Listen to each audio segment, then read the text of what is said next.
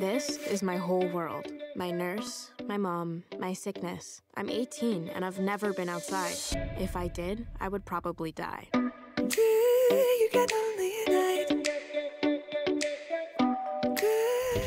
Hi, my mom sent a Bundt.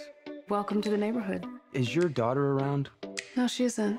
Lights, cold nights, remember when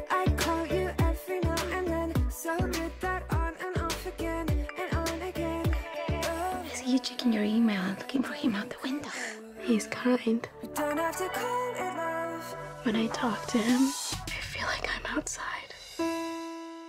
He's here. Who's here? You're really different than I thought you were gonna be. Sexier, right?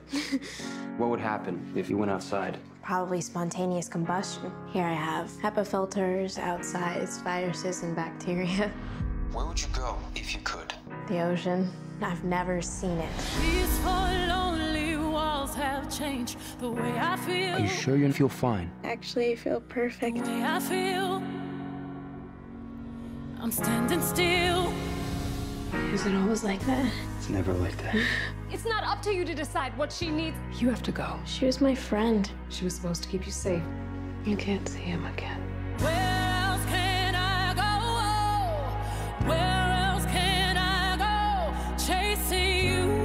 Dear Mom, I know staying in this house keeps me alive, but this isn't living.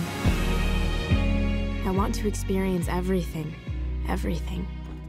Maddie, what are you doing? Go back inside. No, Ollie, I have to know if I'm really sick. And the only way that I'll know is if I'm outside.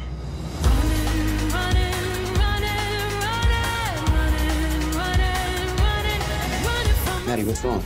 I'm messing up your life. My life is better with you in it. I ain't running. Madeline, you're all I have left. I can't lose you. I'm willing to sacrifice everything just to live one perfect day.